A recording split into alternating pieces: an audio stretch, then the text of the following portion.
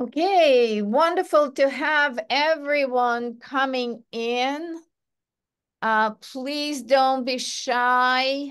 Make yourselves comfortable. This is going to be a, an energetic discussion about the topic that we all really care about, I hope. This is why we're here. So please um, join us. We are going to give people a few minutes. We know how these Zoom sessions work. People are, are usually dialing in on the last minute. Uh, but here we are. And uh, as you're trickling in, don't forget to put in the in the chat where you're calling from, where you're um, dialing from. So please do so. And uh, okay, New Jersey, welcome, Zakaria from New Jersey, wonderful. Um, and I see familiar names here, some members of um, HCM team, students, faculty. That's exactly what we want to see here, really. And uh, we are looking forward to an incredible you know, discussion on um, on this panel. Just a couple of, a couple of minutes, and um, just as a reminder, um, you are welcome to use the chat. But as far as the Q and A, uh, remember that there's a special button here that says Q and A and uh, do uh, put your questions in there. And we promise that we're going to allow um, uh, some time at the very end of this presentation to engage with all of you um, in the discussion on the topic that Dr. Woody and I really care about so much that we took the pain of writing the book, The Digital Coaching Revolution, that we are going to uh, to cover today. All right. Okay. So um, I'll give it just one more minute. So who do I see here? Uh, Brenda, Chow, Coco, Danielle, uh, David, Cooley, hello, uh, Diana, uh, Hope, hello, good to see you, Kari, Lauren, wonderful to have you in the room. All right. Um, and I'm getting uh, down the list here. All right. Okay. All right. Woody, are you ready? I'm ready. Okay. So uh, we, we're going to start with the prerequisite introductions. If any of you do not know who we are, I'm Anna Tavis, um, the partner chair for Human Capital Management. We are running this Rethinking Work series um, and, um, you know, really pushing the envelope on what's the future of HR, coaching, people analytics, and other and other topics. And and um, I'm the co-author of this book, uh, Rethinking oh, um, the Digital Coaching Revolution. And uh, Woody, you will introduce yourself. Yes, hi, I'm Woody Woodward. I'm a clinical assistant professor of executive coaching and organizational consulting here at the NYU School of Professional Studies, where I'm also the director of the Coaching Innovation Lab. And yes, also Anna's co author, among many things, um, of the digital coaching revolution. So I'm really excited to get a chance to do your show, Anna, Rethinking Work, but also with you as both uh, kind of guest and host today. All right. Okay. So why don't we get started? Um, let me just share with slides again. Um, sorry, we, we're going to start. Let me just rewind the slides to the very beginning. Um, one second, we'll get you there. Um, and um, again, we are hoping for a conversation with all of you um, rather than a show and tell but we um, do want to share with you a bit uh, of what we're prepared um, here today. So I'm going to start here. So Woody, why are we talking about the digital coaching revolution? This is pretty ambitious for us to say that there is a revolution in coaching specifically and in the digital space? Well, I, I mean, it's something that Anna, you and I saw back in in 2020 when I came to the program. I first joined when you hired me on as a as a professor here. We sat back and we're looking out at the landscape and what was going on. Uh, first, it was COVID, right? So it was a, a unique time in our history and a unique time for employees, particularly dealing with the challenges of either being home, working remotely, losing work, having to go in with PPE or other types of uh, challenges. And so many folks were just were really struggling. And I know early on when we started the program, we started looking into hey, wh- what is going on in the industry outside of what we think of as traditional coaching. And we started paying attention to some of the digital coaching platforms, as many of them are referred to, who are offering coaching services, but what they would say at scale. And so I think the first meeting on a my first meeting at NYU, the out, uh, external meeting when is was when you brought in uh, the team from Bravely, and we got to hear a little bit about what they were doing. And then we got in touch with the team from Ezra. We heard a little bit about what they were doing, and, and we'll come back to these players in a little bit. But we started to realize that there's something going on here. And as we continued to have conversations with these these platforms and, and digital service providers, we realized they didn't really have one place to go. There was not one place where they all gathered. Because Anna, you know, we were trying to figure out where do we find them? How do we reach out to these folks and talk to them? And so we thought, well, why don't we create the space? Um, because it doesn't exist. So why not take an entrepreneurial approach, which I know is something that we've always have done and you've always encouraged and in everything that we do at, at the human capital management uh, department at, at SPS. So we decided let's put together an event and let's tap some of these folks and see if they'll come. And I would say what was fascinating was the response that we got. And I know I've told you this, Anna. Quite frankly, I became a LinkedIn panhandler. I mean, mm-hmm. I was just out there pinging these folks, hey, you know, we're doing this thing. We've got this program at NYU. And um, and I was shocked at how quickly they'd respond and say, yeah, I'd, I'd, I'd like to know more about that. The fact that you have a Master of Science degree in executive coaching was unusual and intriguing to them. And then the idea that, of course, we're NYU and we're putting together this event to bring these leaders and entrepreneurs together to talk about what they're doing in this space. I mean, I think that's what really got it started on it, got us interested in what was going on, and then led to us investigating a little more about what was going on in the space and learning from now two years going on year three of the summit. Yeah. So, and that is the our website for the upcoming summit 2024, which will have um, new features, um, two-day event at the Kimmel Center We'll speak a little bit more about that, but I hope that you would join the conversation coming directly from here into that space. And so what we found out, you know, um, was that coaching was becoming what I call ubiquitous. So from being a sort of an esoteric, very, you know, niche uh, type of methodology working primarily with senior executives, it kind of started gaining momentum. And the premise behind writing this book, doing the research on the evolution of this particular uh, coaching methodology, what we discovered is and that what we believe in and and we i hope uh, managed to prove in this book that coaching will be more of the mainstream way of learning.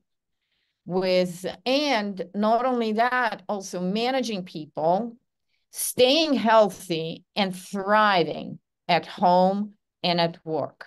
So that is kind of the the big claim that we are making and we're going to um, prove it to you to the extent that we can here and then again engage in this conversation so what we found that the trends that are driving um, this whole mainstreaming of coaching. Sometimes you hear the word democratization. I prefer mainstreaming because democratization, especially in this political environment, tends to be a little bit more loaded. So, so coaching is becoming something that people are seeking at individual level. That's where hyper personalization of these types of services come in. Remember us sitting in classes and training over and over again. L&D was based on training, uh, but no longer, you know, we are going to get uh, through these technologies, that was our thesis,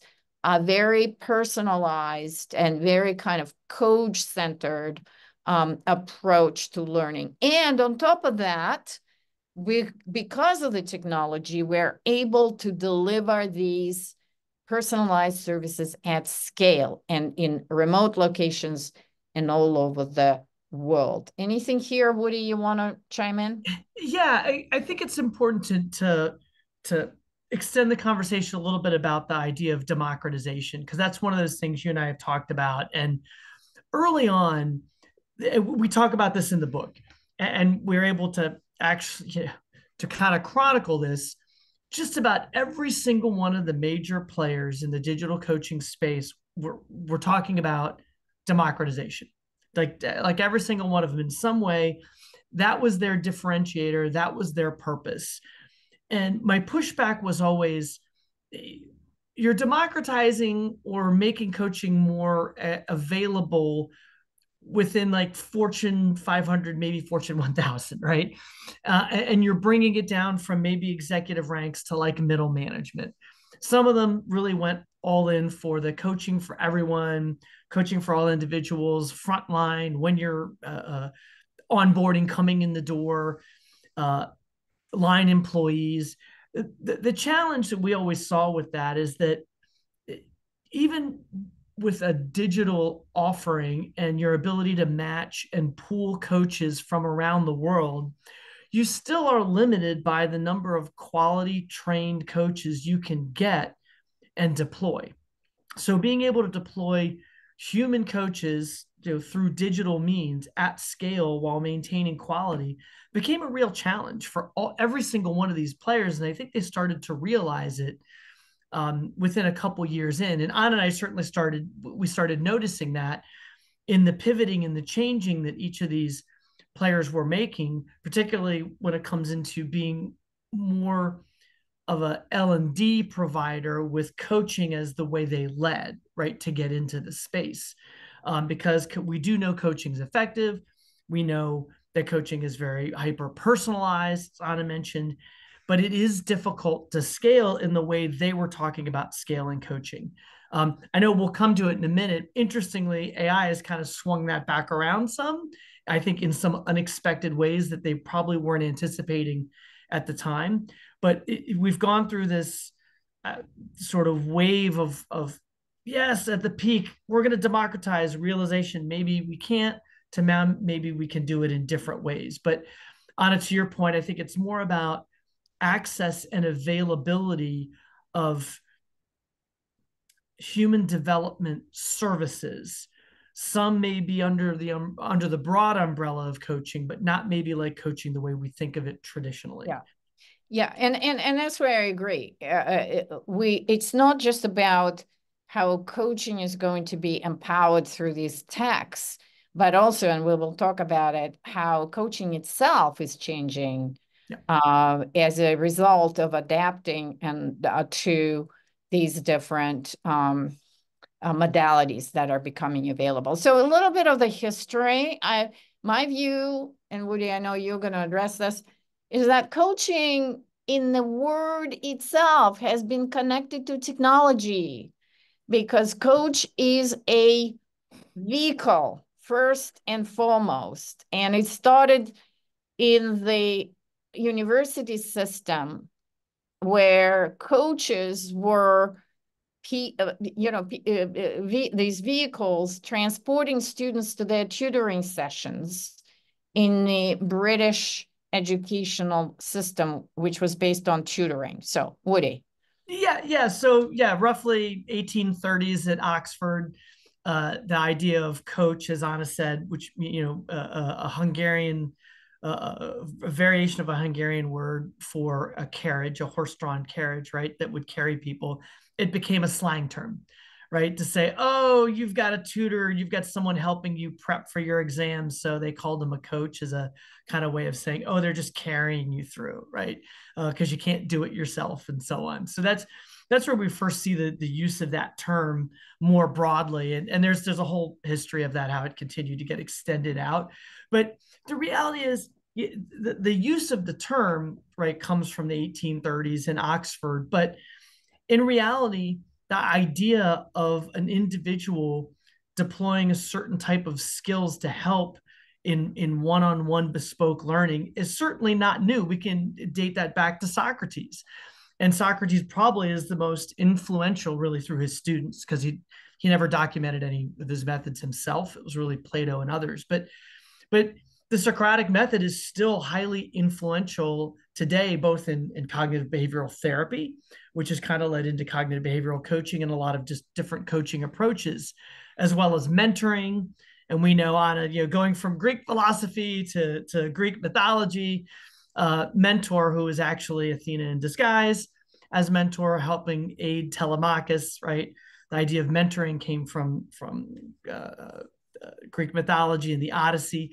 So you know these terms have been around and they've morphed in different ways. Whether it's uh, Machiavelli as an advisor, sort of in a, a sort of uh, a consultant coaching kind of way, to modern day, you know, management history in the U.S. 1800s. I mean, with the movements of Frederick Taylor and others. So, uh, but we really saw in the U.S. I think coaching at the executive level, that really one-to-one coaching that's kind of evolved to where we are today, probably.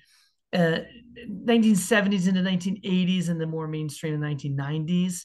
Um, and then you saw the birth of ICF in 1990, was 95 or 96, 1995, um, International Coaching Federation. And several years after, you had the European Mentor Coaching Council, um, and then others throughout throughout the, the, the world that, that really tried to get their hands around professionalizing what coaching is to the point, Anna, where we are today with the development of graduate education in coaching, which is something Anna and I are both very passionate about and believe is a critical next phase to really professionalizing coaching.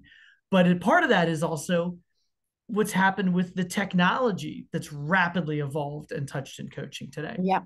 And so looking at the future of coaching, um, and I want to make sure, Woody, that we get everything in. Mm-hmm. Um, so the idea of assisting somebody on their learning journey or, or their transformational journey or through personal challenges um, is, you know, again, goes back in, uh, in centuries, but the technology that assists us to do it has changed. And where the revolution, the next revolution in coaching comes in is what you see here in your visuals the coaching it, it, is, it already exists. And in fact, we were looking at three different ways of sort of um, of um, uh, uh, uh, changing coaching through technology um, in this area of sports and sports um,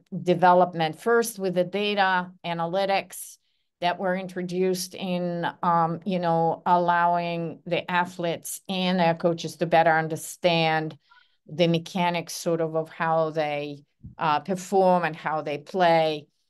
But now, to the extent that where we see the most advanced merger of coaching and technology, the human coaching as well as the data revolution and the coaching tools. And you, you can see here, to the extent that we already have a robot uh, uh, representing coaching in some sports. Um, uh, so that's in sports, it's already um, the reality along with a human coach. And we can discuss how those are in a symbiotic relationship. Um, and then what we're beginning to see in the day to day operational even level at the workplace and uh, which allows for the scale that was not available with human coaches um, in place that we're seeing the introduction of these avatars and other types of coaches coming in.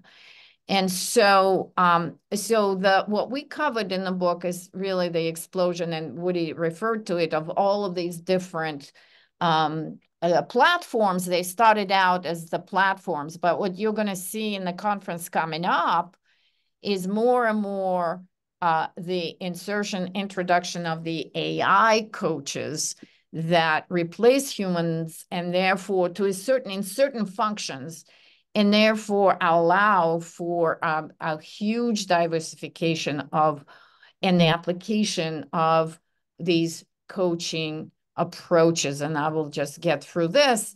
So obviously covid was a huge accelerator where we started out with the platforms you know more like a social media or dating platforms et cetera et cetera. But because we were all forced into our respective remote locations, um, the acceleration of personalized services has extended where managers were no longer supervisors looking over your shoulder, but had to manage at a distance. So we believe that these were the factors um, that allowed for the acceleration of this coaching, digitization of coaches. So to the point where, you know, our initial premise, coaching now, and these are all, by the way, um, AI generated images. Um, coaches is ubiqu- uh, coaching is ubiquitous, is present in all sorts of different domains, not just in professional coaching as we think about it at NYU, but in well-being, medicine, um, and all the other pursuits. So coaches are going to be embedded in what we do. And um, and I also believe that we are going to see, Woody mentioned in the history of coaching, how the vocabulary around coaching, you know, involved a coach and mentor and trailer, trainer and advisor, et cetera.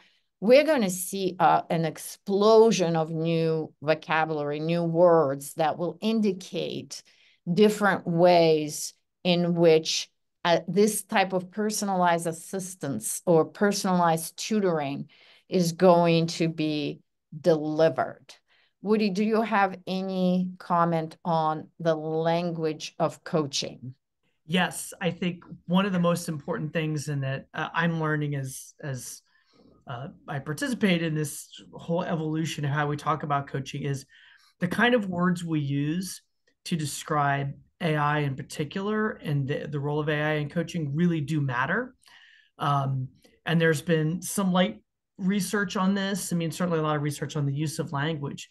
But the more we're able to describe AI as a an assistant, a co-pilot, a tool that feels a little more safer generally than as an like an AI coach, right? Or a uh, um, an autonomous bot operating on its own, um, because that's where people tend to get a little bit uncomfortable. It depends on who you talk to, right? People who've been in coaching for a long time tend to get less comfortable with the idea of an autonomous bot or coach. Um, as you know, something I had shared, I, I had the opportunity to to demonstrate uh, being coached by a voice enabled GPT coach, uh, which was an interesting experience. It was a little clunky, it had some challenges. But when I posted the clip of that, or just a, a small like snippet of that interaction, some people had this, wow, that's fascinating and interesting. Um, and how does it work? Or here's some ways to improve it. Here are ways that we can adjust and change it. And others had very visceral, visceral angry reactions at first of all, how could you refer to it as a coach? It was so awful. The fact that it sat there and did that, what is it trained on? Um, why would you put that in front of an audience? Um, and and then there's you know name calling and attacks and all that kind of stuff too, right? That we that, you know is part of part of life on social media. Uh, but what pleased me was to, to, to and was informative was to see the range of thinking and reactions to an open-ended coaching question, which I just said, what do you think? Take a look, what do you think? Um, so Anna, I think it's we really have to consider how we talk about AI and coaching, what we mean by AI and coaching, how we intend to use the tools, and also how we're going to, I think, either regulate or have a say in the development and deployment of these tools depending on the type of context they're going to be used in. And I know we'll get into some of that, but yeah. uh, language matters. Yeah, and and and I think we're going to see more and more, like every single startup, and we are going to have um, next generation companies, the ecosystem of uh, startups at the conference represented. Mm-hmm. They're actually trying to um, come up with their own um, vocabulary around guidance and coaching, et cetera, as different domains in which the um, coaching methodologies are being deployed are requiring a new way of thinking. And to your point, the coach kind of has been so anchored in a human uh, one-on-one relationship that uh, these new um, uh, sort of augmented AI-driven approaches to assistant, um, you, you, know, called for a whole new generation of mm-hmm. um, uh, like and uh, of a language that uh, to describe it. And what I've done here is, um, you know, kind of reflecting back. It's not just that uh, the live uh, the human coaches are going to be getting those tools, but there's going to be a huge need around coaching people in their relationship to this technology and I see a, a, really interesting opportunity for coaches because each and every one of us, what we're seeing um, is going to be defining what it means to you to be interacting the, with these types of tools. Uh, the research is just beginning to show up about how humans react, what, what he describe in his particular coaching situation with a digital coach. But each and every one of us will have to define our level of comfort with these tools. And what we know is, as everything is the case with humans, there's a whole range. There are people who feel that it's creepy and it's not something that they are going to engage with. And the exact opposite of that, where we see whole population, there's some research that's coming out where people are actually feeling a lot more comfortable with having an AI coach rather than having to confide in a human whom they might have, for one reason or the other, distrust or mistrust of. So watch out for this. Even there's going to be how do leaders lead, you know, with in this kind of AI empowered environment and the all different kinds of new coaching skills. So just a real quick walkthrough before we engage in further conversation. So where are we on this journey with um, AI and kind of from the technology perspective? Let me just walk you through and and how it all works uh, with um, the employee life cycle. Um, all of you um, must be familiar with the uh, Gartner Hype Cycle, uh, where they rate all the technologies on this hype cycle that goes through the patterns of evolution uh, pretty much for everything. As you can see, generative AI right now, and I have the, uh, the, the purple star up there, is at the peak of inflated expectations.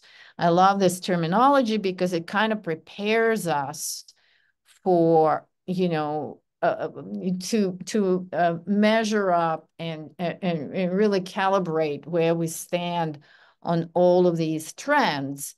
You know, the expectations are very high, but they're also inflated, and and we can anticipate a little bit of the um, disillusionment that um, trough of disillusionment until we get to the slope of in, in enlightenment. And I think we are experiencing this with um, AI right now in um, in coaching specifically.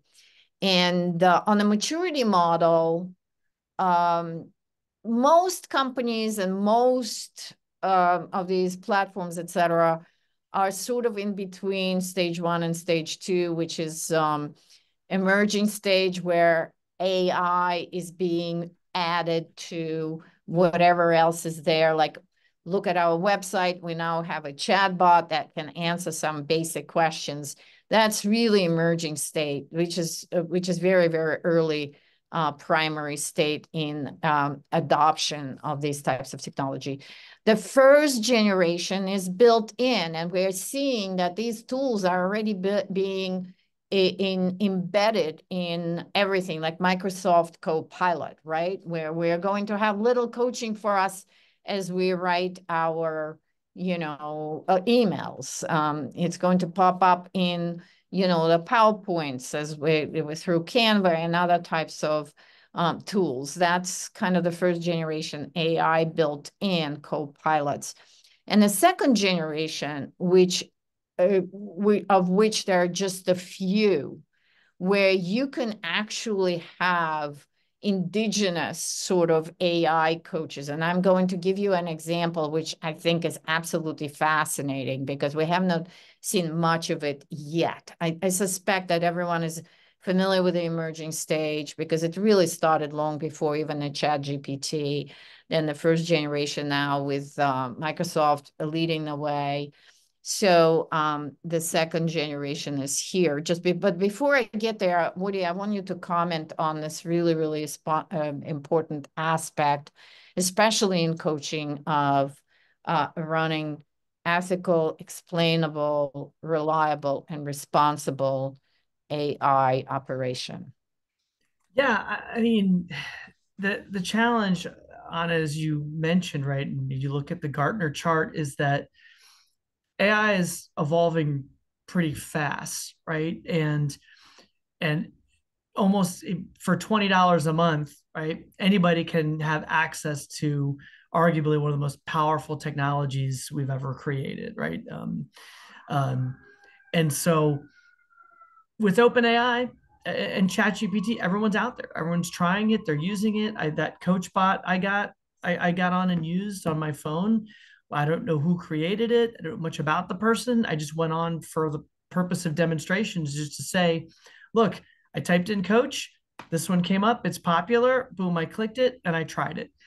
And what I think that we need to understand, first of all, just putting on my hat and thinking about coaching as a profession, is just Anna, as, as you and I saw with the digital coaching revolution and the digital coaching platform providers, because they were listening to the market, um, particularly during COVID. And because they were evolving their services and offerings to meet market demands, they came to redefine coaching in so many ways because the buyers of services were understanding coaching services from those who were offering them and those who, uh, you know the, the, digital providers right your BetterUps Ezras coach hubs Bravely's, Torch, Sounding Boards of the world, AceUp right, they were defining the market because that they were they had the loudest megaphones and they were the ones selling the services. So what we have to understand now is in this generation, right, of AI technologies for young users who are going to be you know native to using um, generative AI when they go onto a GPT store or they go to all GPTs or any of the other marketplaces that come up or internal corporate providers that, that offer the tools like a, a Copilot on Microsoft, they're defining coaching by what they're seeing, right? By what is being called coaches. So we have to understand that. We don't have to love that idea, but we have to understand and respect that. And so that's why I think, from an ethical perspective, we really need to, as a profession, make sure that we get a seat at that table to have some influence over what we actually mean by coaching. Because coaching is a loosely thrown around term and it means a lot of different things to a lot of different people. And in fairness, you know, the professional coaching profession, as in the, the folks like us that we're talking about, we don't own that word, right? There's sports coaching, there's uh, you know, fitness coaching and well, all sorts of other coaching out there, right? That, that, that can be more directive and, and have power dynamics to them. So we have to understand, and in my role with the International Coach Federation and being part of the Thought Leadership Institute, um, where I'm also co-chairing the uh, ICF task force on AI and coaching, we're really looking into this and we're trying to get our hands around how do we help developers of technologies understand what we really mean by professional coaching and that there are standards, there are ethics, there are evidence-based practices that we teach here at NYU that we believe in that differentiate a coach from any random person off the street sitting down and coaching you or having a coaching conversation. So on a, when it comes to the ethics, we're looking at that right now. Um, it, it's an interesting challenge, but part of the ethics are in the development. And I don't know that we have enough influence over those developing the technologies at this point. We have some. We have we've made some inroads with some of the the larger developers of these technologies, but with many we haven't. And so where are they taking their cues on ethics, on bias? Right? I saw in the in the Q&A there was a question about bias. Yeah, we, we don't know, right? Because they're not sure what they mean by coaching. So how are they training these coach bots? Um, we just don't know. So I think we're at an inflection point in the profession where as professional coaches, we need to really lean in and engage. We cannot put our head in the sand. Uh, we can't fear what we're seeing. Uh, we don't want to attack it. We need to understand it, take come at it with um, healthy skepticism, but with a willingness to say, guess what? The world's evolving and we need to be part of that and have influence over it. Right. And here, obviously, I'm sure people in the room right now are wondering, Woody, with all of your persuasive call to action, how do I get involved? You know, how do I get involved? Um, I would say that the Europeans are a lot more proactive about uh, defining those standards. And as you know, it, it will be a cascade across uh, because I think one, if if nothing else, but we've learned some lessons from social media and how social media was introduced and how far along we were until we realized all of the uh, consequences of um, unrestrained and um, you know uh, oftentimes unethical um, you know behavior on those platforms. So i think in some ways i am a lot more optimistic in terms of uh, the level of the discussion and awareness of these issues fairly early on as these technologies are racing out of the door of all of these companies. But let me um, uh, uh, uh, offer something that um, uh, is kind of caught my imagination as I am beginning to get my arms around what would be involved in uh, this kind of um, what I said authentic uh, um, indigenous uh, AI coaching. Imagine that all of us will get our personal coach at work. And I know there are some questions there that we want to address. And here's what I found. There we actually beginning to we will we are going to introduce in our curriculum at NYU for the coaching uh, for the um, human capital analytics and technology classes where our students are going to be developing their own coaches. And these are uh, already the the the built-in coaches um, and and guidelines that are available and accessible to all of us we will be able to develop that already exists and commercially exists.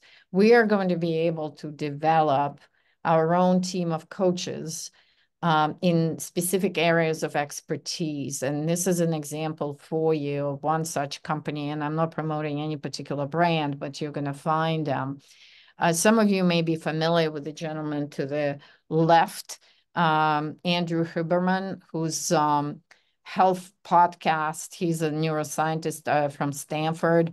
He's one of the most popular podcasters in the space of um, human uh, lifespan uh, and health.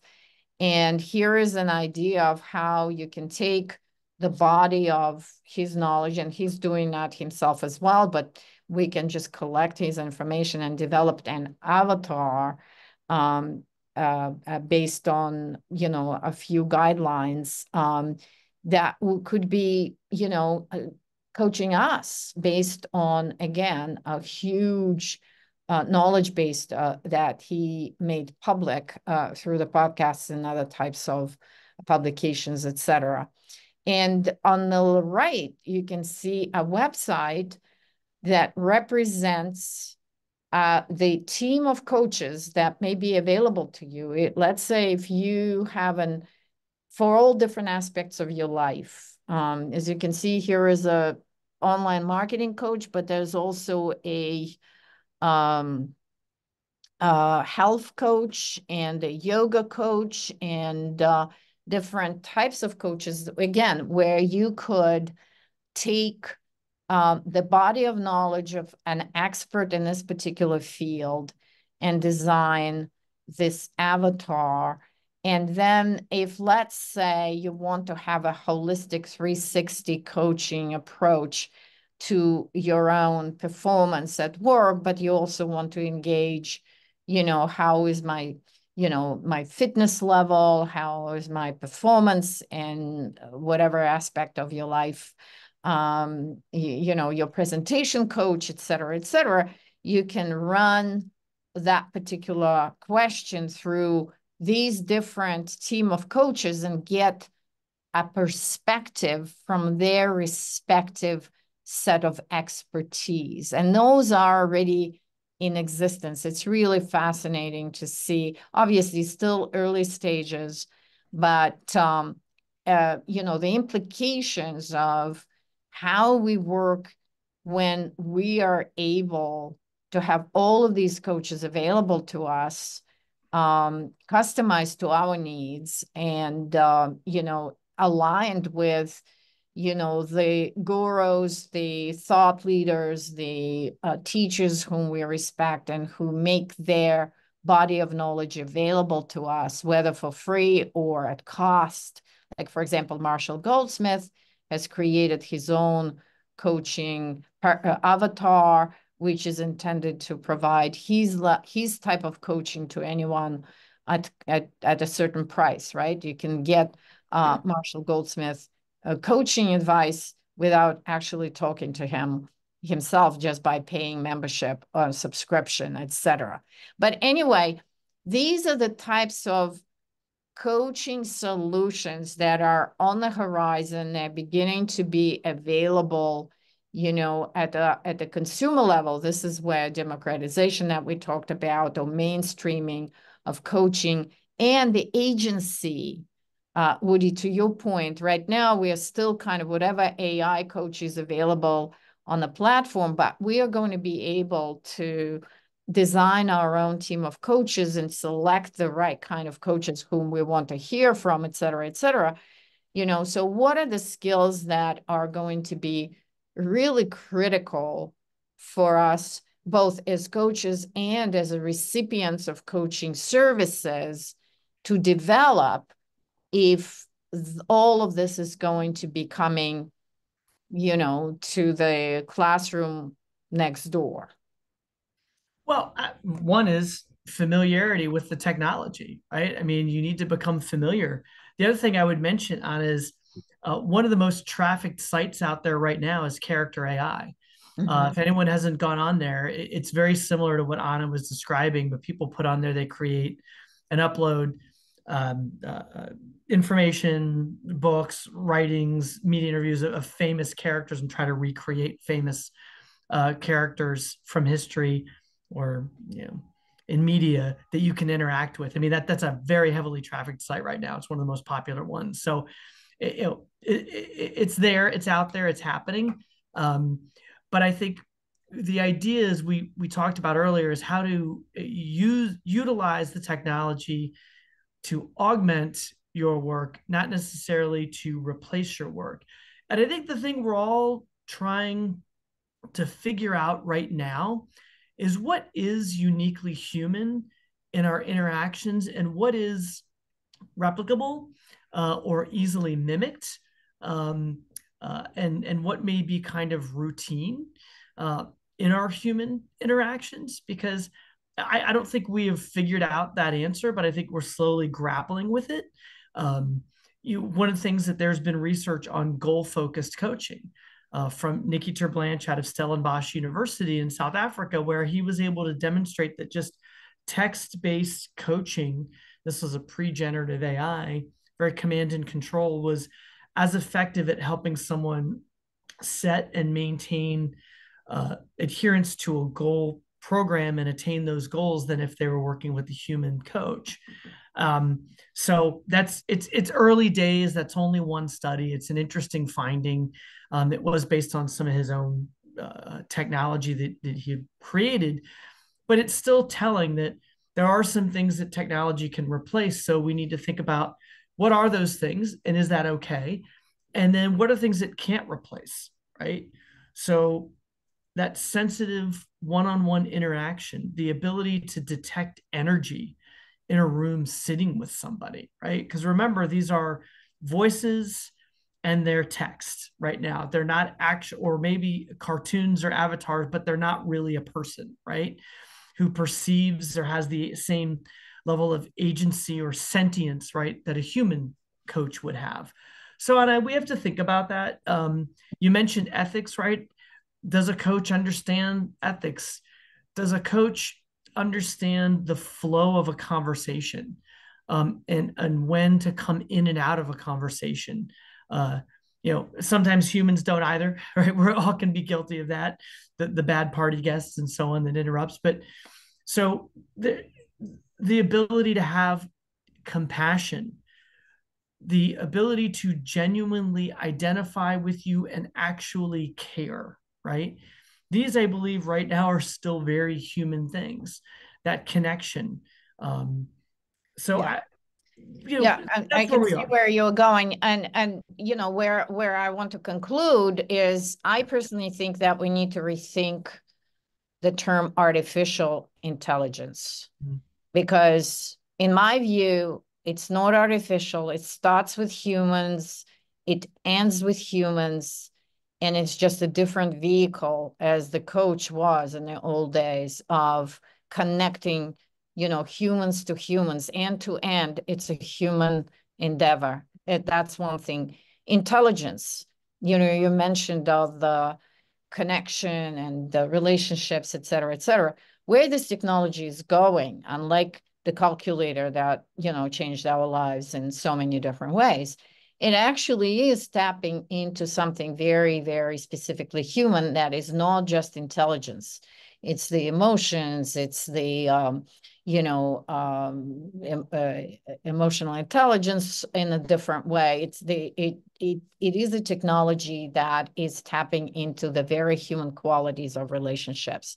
And we will need to be looking out for where it's taking us. And as I promised in the beginning, when we said revolution, we in the in the title of the book, it's just a snapshot in time. You know, it's almost like Woody and I aware that what we're trying to capture is the beginnings of a huge movement and paradigm shift in um, you know how these trends are going to transform everything we do and again, to return to the question of uh, the role. So let me make it specific about what are we doing at NYU to stay current and prepare our students and educate them on or help together. We're in this discovery process together along with our students. Mm-hmm. And that is something that, you know, we're very acutely aware of. So I will give Woody a chance to comment on, uh, you know, what we are doing in the executive coaching or consulting uh, program, and then I will say a few words about how we providing additional uh, coaching, co coaching education and coaching skill development opportunities at the um, certificate level. Yeah, I mean, we have to be at the forefront, right? As as a university, um, as an education and trainer or educator and trainer of coaches. So one of the things we've done is we integrated um, a technology called Ovida, which is a a video capture technology that actually records the conversations, analyzes and captures data about the coaching interactions, allowing our coaches to practice, but get objective data about uh, their interactions during that coaching conversation. The AI also transcribes it. The AI captures what happened. It writes about it. It gives you the main points.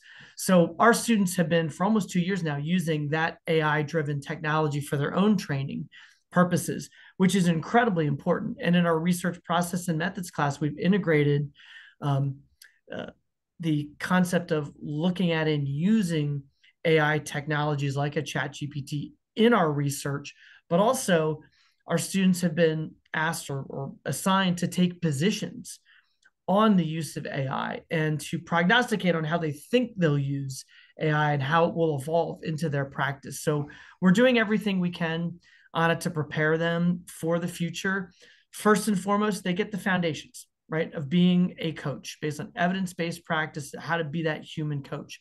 But they're also, we're integrating the use of technology to help train them, make them better, and helping them understand and comprehend the kind of positions they need to have and what what they need to know about the, the technology that continues to evolve. Yeah. And on the certificate side, um, we are actually going to be a lot more edgy and experimental. Uh, we are going to introduce a variety of different uh, skills specialties that even our um, uh, students in the master's program can then return to and continue to grow. Uh, we are going to develop a separate certificate in healthcare coaching. We're beginning on that process, uh, which requires additional set of uh, qualifications. And, um, and we're contemplating a, um, a, a, separate class or program uh, for design of these particular AI coaches with the skills that will be helpful, hopefully, to our students when they can create their own avatars and and be much more fluent in obviously that will be for the for the students who are already you know coach certified etc so watch out for that space because we feel as an educational program that we have an obligation to offer these uh, development options to our students. Um, and, uh, and you know that's where our um, mind is going. And obviously all of these um, different avenues will be explored at our next conference in June um, to see, you know, where we can take it and what kind of partnerships, because a lot of this also emerges from the partnerships with these advanced um, AI-driven um, kind of organizations. So this is kind of where we wanted to end, and I know that we have a couple of questions. Um, I think, so first of all, uh, Lauren, um, a question more kind of from the uh, HR uh, perspective. Um, you know, there are already a lot of systems, HRS systems that are out there. Uh, you know, that question is based on the kind of the first generation AI thinking that AI or coaching is something as as as a add on rather than in embedded in all the other solutions. For example, uh, Lauren, all of these HRS systems, talent marketplaces, and other types of, um, uh, you know, systems that are out there for various HR purposes are beginning to integrate with the coaching programs.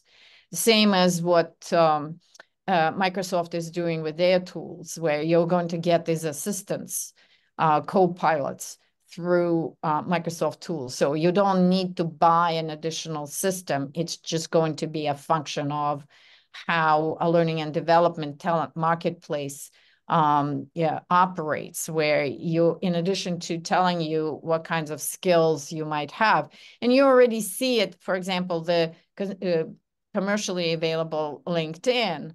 LinkedIn has built a whole bunch of AI uh, assistance into its own um, uh, its own platform. When we go out there now, it's helping us in multiple ways um, to communicate. So right now, yes, there it's kind of a, a bolted on maybe, and companies started out with those platforms that we mentioned by buying subscriptions to those programs, but now they are integrating. Like BetterUp is integrated with Workday right now.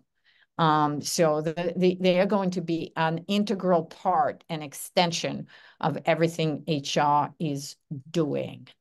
Um, uh, Woody, I think you answered the uh, raised question about DEI, right? Yeah, I mean, uh, the quick answer is we have to look at the large language models that these uh, technologies and AI are being trained on first. We also have to look at the the subset models that they're being more specifically trained on and the guardrails that they're being given. But another way to flip that on its head, uh, Ray, would be to think about the idea of AI type bots, agents, AI generated or, or, or driven coaches as a way of providing access and making them more affordable and available to marginalized communities that otherwise couldn't afford coaching services from a digital provider or from human coaches, uh, or are in areas or places where access would be much more difficult. Um, you know, I'm I've had the chance to work with someone who's doing that. He's developed AI for inner city high school kids, um, uh, like a, a, a coaching bot for them. Um, and he did it because he found he couldn't raise the money and wasn't able to afford to provide them the, the access to human coaches. And so he did it not to replace something, he did it to fill a space where there was nothing. Um, so I think we have to consider that.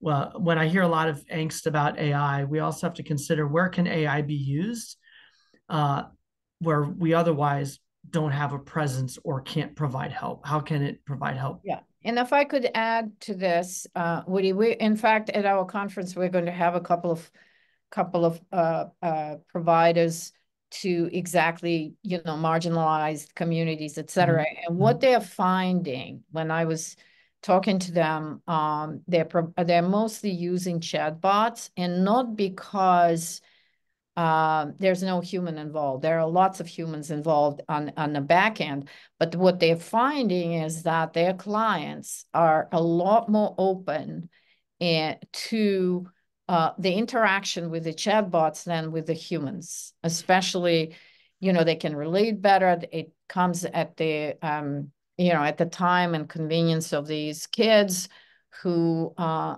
might need assistance at the most, you know, inconvenient times for the humans. Mm-hmm. So, uh, so we're going to have that broader conversation about how address those issues. And I do believe that to Woody's point, that we are actually going to be able to uh, reach out to the communities that have never, never had any sort of access to these types of tools before.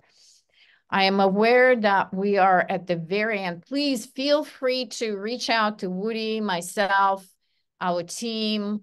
Uh, we are going to continue with our series until the end of the academic year. Next, our next um, topic is going to be uh, about consulting with our own Professor Mary Ciani. Um, that's going to happen on Tuesday, the uh, April 16th. Um, then uh, we also have another one more on the uh, strategic workforce planning, more kind of core HR uh, webinar. And, uh, and when it comes to in-person conversation, do join us at the summit um, in June. Um, uh, and we just want to, just to plug in, we are also going to have part two of this summit in Berlin um, in June, uh, on June 2021st. Uh, our first kind of global, we have a lot of global participants in the New York summit, but we are actually taking it to Europe for the first time. Thank you all so much. Fantastic to see everyone. Thank you. And uh, we will see you very soon again. Thank you. Bye-bye. Thank you.